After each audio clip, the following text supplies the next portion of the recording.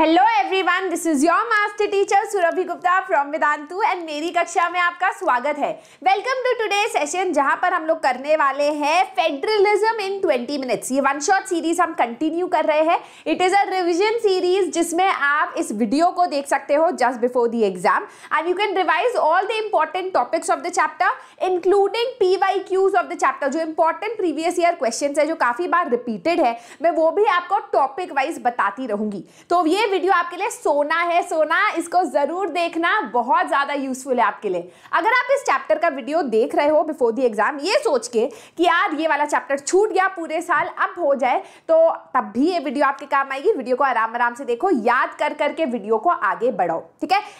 इस चैप्टर से आप एक्सपेक्ट कर सकते हो फाइव मार्क्स के क्वेश्चन थ्री और टू मार्क कर क्वेश्चन एक्सपेक्ट कर सकते हो वन मार्कर क्वेश्चन भी एक्सपेक्ट कर सकते हो। सो मेक श्योर आप इसके कॉन्सेप्ट और इसके इंपॉर्टेंट क्वेश्चन ठीक से करके जाना। ठीक है? So let us begin if you watching this video just before the exam थोड़े स्पीड में देख लेना, जल्दी चैप्टर खत्म होगा। वीडियो को थम्स अप दे दो do not forget to subscribe to the Vedantu 9th and 10th channel ये चैनल हम लाए हैं जिससे आपका रिवीजन जिससे आपकी पढ़ाई, जिससे आप रेडी रहो बोर्ड एग्ज़ाम्स के लिए।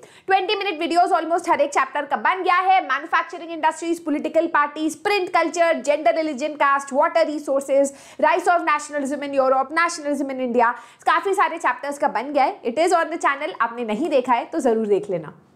चलो, शुरू करते हैं। पहला क्वेश्चन आता है, इस पूरे चैप्टर को अगर हमें डिवाइड करना है तो हम तीन भागों में डिवाइड कर सकते हैं। पहले है फेडरलिज्म क्या है? क्या क्या डिफरेंट टाइप्स ऑफ़ फेडरलिज्म है? क्या फीचर्स है फेडरलिज्म का?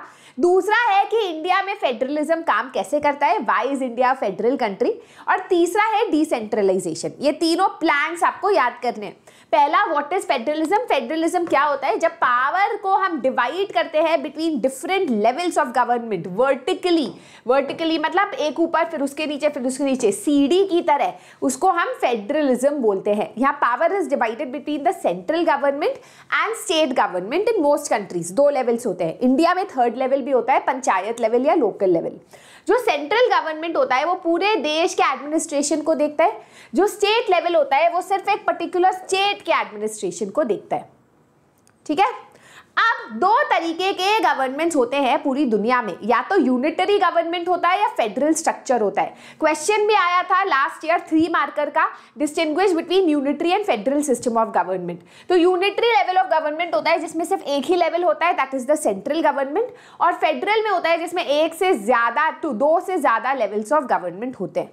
राइट? यूनिटरी होता है जहाँ पर जो आपके सब, हो सकता है, जैसे चाइना है।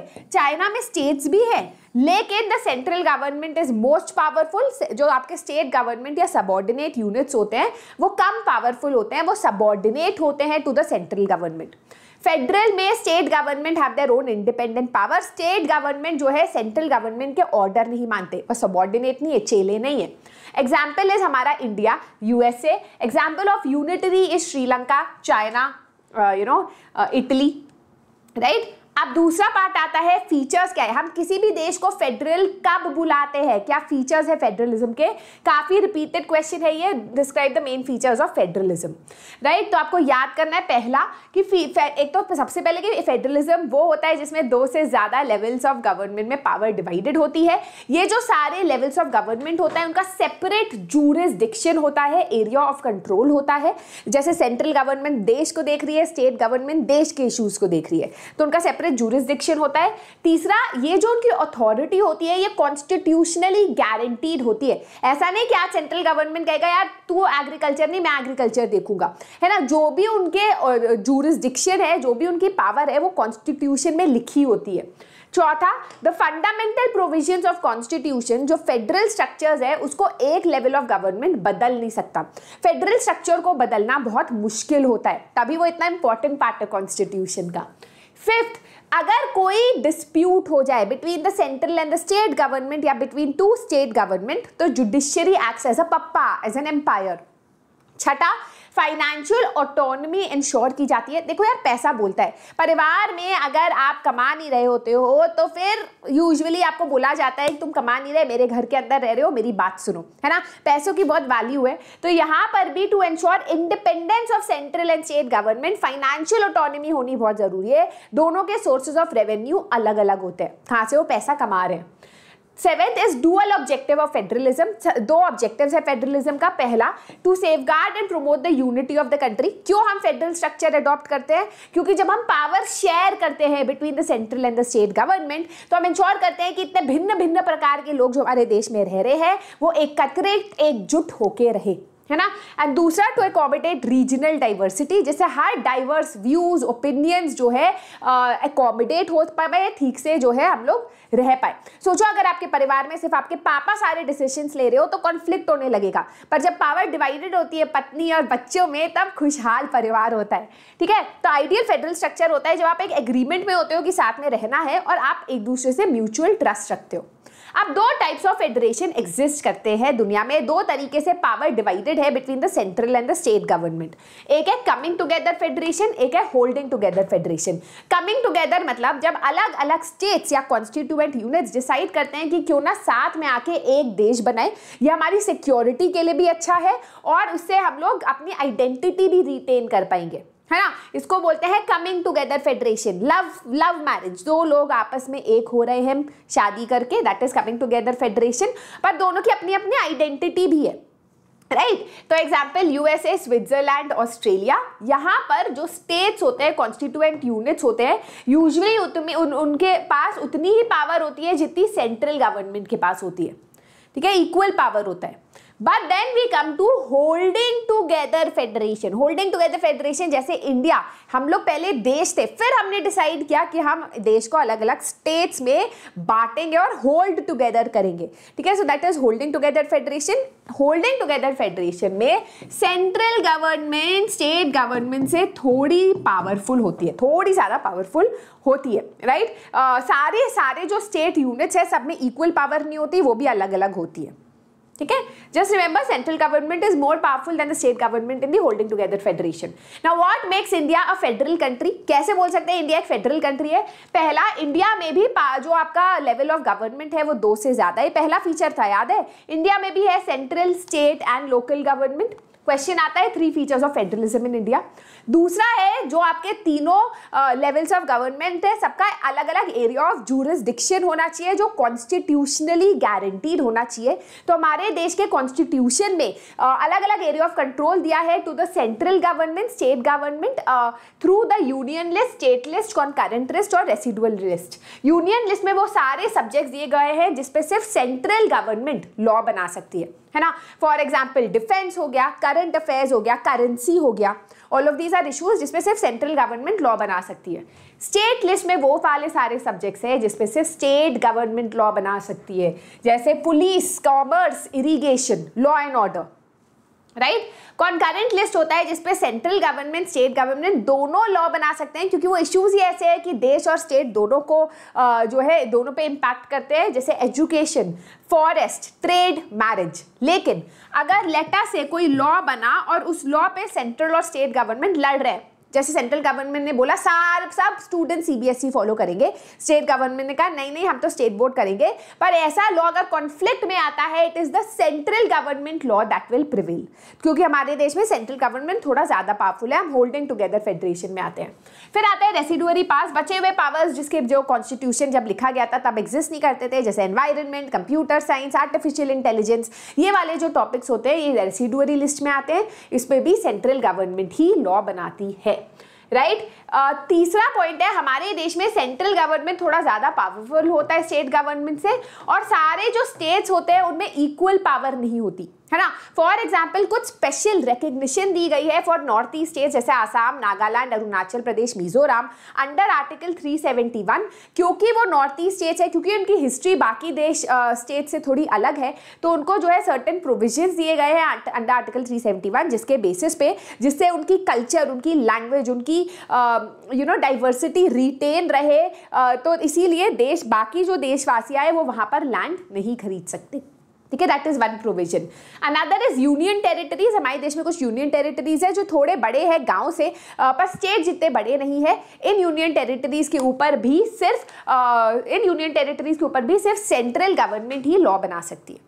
ठीक है? तो क्वेश्चन कैसे आता है? The Indian constitution provides three list to distribute the legislative power आपको बताना है दो लिस्ट यूनियन लिस्ट का आपको लिस्ट बताना और बताना है एजुकेशन कॉन्करेंट लिस्ट में क्यों है। या फिर three fold distribution of legislative powers तो इसको क्या बोलते हैं? Three fold distribution of legislative power या लॉ मेकिंग पावर ठीक है?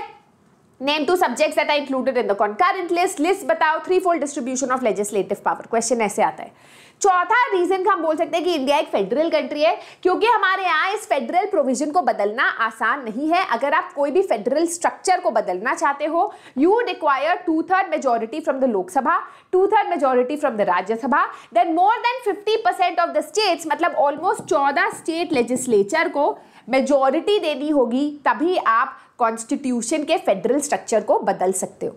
So those are the features of federalism but constitution में प्रोविज़न होना काफ़ी नहीं होता। ज़रूरी है कि इंडिया में फेडरलिज्म प्रैक्टिस भी की जाए, तभी फेडरलिज्म को हम सक्सेसफुल बोल सकते हैं। तो इंडिया में फेडरलिज्म प्रैक्टिस की जाती है through three ways so explain the factors that make federal environment in India so attractive या what is the reason for the success of federalism in India तो आप लिख सकते हो it is not because only of the provision of federalism in constitution but हम लोगों ने ऐसी डेमोक्रेटिक पॉलिटिक्स करी है, जिसकी वजह से federalism has been successful in India the first example is linguistic states linguistic states मतलब जब आप लैंग्वेज के बेसिस पे इंडिया को अलग अलग स्टेट्स में डिवाइड करते हो तो हमने लैंग्वेज के बेसिस पे इंडिया को अलग अलग स्टेट्स में डिवाइड किया है। ये सबसे पहले हुआ था इन 1953 जब जब श्री श्री पोटी श्रीराम मुल्लू ने फास्ट रखा था until death and after he died protest वगैरह हुए थे and the first state was establish that was the Andhra Pradesh उसके बाद लैंग्वेज के बेसिस पे काफ़ी सारे स्टेट्स एस्टैब्लिश हुए, जैसे Haryana, Punjab you know UP Bangla ये वेस्ट बंगाल एक्सेट्रा एक्सेट्रा ठीक है? तो द फैक्ट कि लिंग्विस्टिक स्टेट्स अलग अलग लैंग्वेज के बेसिस पे हमने स्टेट्स डिवाइड किए फिर भी हम एकजुट रह रहे हैं is a example of success of federalism दूसरा है लैंग्वेज पॉलिसी हमारे देश में 41 percent forty percent of the population Hindi speaking है और सारी पॉपुलेशन अलग अलग भाषा बोलती है। हमने कोई नेशनल लैंग्वेज नहीं रखा क्योंकि हमारे यहाँ लैंग्वेज डाइवर्सिटी है। इंस्टेड हमने ऑफिशियल लैंग्वेज रखा है आ, या स्केड्यूल्ड लैंग्वेजेस रखा है जो eighth schedule of the constitution में 22 स्केड्यूल लैंग्वेजेस दी गई है। इन किसी भी लैंग्वेज में ऑफिशियल काम किया जाता है। आप अपना गवर्नमेंट एग्ज़ाम भी किसी भी लैंग्वेज में दे सकते हो including your board exam right so that is how we have ensured कि हमारे यहाँ डाइवर्सिटी मेंटेन रहे। तीसरा है सेंटर स्टेट रिलेशंस जब हमें इंडिपेंडेंस मिली थी 1990 तक, हमारे देश में एक ही पार्टी थी जो डोमिनेंट थी और वो थी कांग्रेस पार्टी कभी कभी ये फेडरल स्ट्रक्चर को अंडरमाइन भी करती थी फेडरल स्ट्रक्चर को रेस्पेक्ट नहीं करती थी। क्यों? क्योंकि सेंट्रल गवर्नमेंट भी गवर्नमेंट में भी कांग्रेस होती थी और स्टेट गवर्नमेंट में भी मेजोरिटी कांग्रेस पार्टी ही होती थी पार्टी का ही रूल होता था। तो कभी कभी अगर कोई छोटी ऑपोजिशन पार्टी आ जाती थी तो कांग्रेस जो है छोटी ऑपोजिशन पार्टी में को डिसमिस करके वहाँ प्रेस प्रेसिडेंट रूल लगा दिया करती थी ठीक है? So they did not exercise federal powers और काफ़ी ज़्यादा सेंट्रल गवर्नमेंट का डोमिनेंस था। तो before 1990 political scene was dominated by one party in both the centre and the state बहुत बार होता था कि ruling party undermine federal structures और federal power of the state और कभी कभी कॉन्स्टिट्यूशन को uh, में स्टेट गवर्नमेंट को डिसमिस कर देती थी। बट 1990 के बाद गठबंधन सरकार का कल्चर आने लगा, जिसमें स्टेट पार्टीज़ भी नेशनल पार्टी के साथ कोalition करके सरकार बनाती थी। इससे स्टेट पार्टीज़ का डोमिनेंस बढ़ गया। राइट? नाउ हमने देखा कि सेंट्रल गवर्नमेंट और स्टेट गवर्नमेंट की अलग अलग पार्टीज़ इमर्ज होने लगी। रीजनल पार्टीज़ ज़्यादा पावरफुल होने लगी। They played a major role in alliance building in coalition building क्या है अलायंस और कोलिशन अलायंस होता है जब इलेक्शन से पहले पार्टीज़ डिसाइड करती है कि पार्टनरशिप करते हैं और इलेक्शन कंटेस्ट करते हैं। That is called an alliance जैसे यूपीए एनडीए है ना? These are your alliances but कभी कभी बिना अलायंस करे जब आप इलेक्शन लड़ते हो लेट्स से सुरभि पार्टी को मेजोरिटी वोट्स नहीं मिले तो सुरभि पार्टी एक और पार्टी से जुड़ के सरकार बना लेगी मेजोरिटी कर लेगी। उसको गठबंधन सरकार बोलते हैं। अब नेशनल पार्टी बहुत बार स्टेट पार्टी क्योंकि स्टेट पार्टी भी नेशनल इलेक्शन लड़ते हैं, है ना? स्टेट पार्टी के सीट्स लेने के लिए उनके साथ गठबंधन सरकार बनाती है तो इसलिए उन्हें स्टेट पार्टी को रिस्पेक्ट देना पड़ता है। तो centre state relation after 1990 because of coalition politics has has made federal structure more powerful है ना? फेडरलिज्म और पावरफुल हो गया है 1990 के बाद. अब हम आते हैं final part of the chapter पे. दैट इज़ डिसेंट्रलाइजेशन डिसेंट्रलाइजेशन का मतलब होता है when power is taken away from the centre and given to constituent units है ना? सेंटर से पावर छीन ली गई है, उसको हम डिसेंट्रलाइजेशन बोलते हैं। Power is taken away from the central and state government given to local government हमारे देश में हमेशा से लोकल गवर्नमेंट हुआ करता था बट उनके पास अलग पैसा नहीं होता था पावर नहीं होती थी इलेक्शंस नहीं हुआ करते थे तो it was not a powerful you know level of government decentralisation की इंपॉर्टेंस हमने तब रियलाइज़ की जब हमें रियलाइज़ हुआ कि दिल्ली में बैठा हुआ एक इंसान को कभी नहीं पता चलेगा कि गाँव के लोकल प्रॉब्लम्स क्या है। तो to understand the local problems to implement the knowledge जो आपके लोकल इश्यूज़ की नॉलेज है सेंट्रल लोकल लेवल पे गवर्नमेंट होना बहुत ज़्यादा ज़रूरी है। Describe the rational behind implementation of decentralisation in India तो आप ले सकते हो कि problems are best settle at local level local लोगों को ज़्यादा पता होता है लोकल इशूज़ के बारे में, ज़्यादा efficiently you know problem solve हो सकती है। डेमोक्रेसी स्ट्रेंथन होती है विद डिसेंट्रलाइजेशन क्योंकि लोग पार्टिसिपेट करते हैं इन डिसीज़न मेकिंग राइट तो इसलिए हमने डिसेंट्रलाइजेशन अडॉप्ट किया। पर हमने इसे स्ट्रेंथन कैसे किया?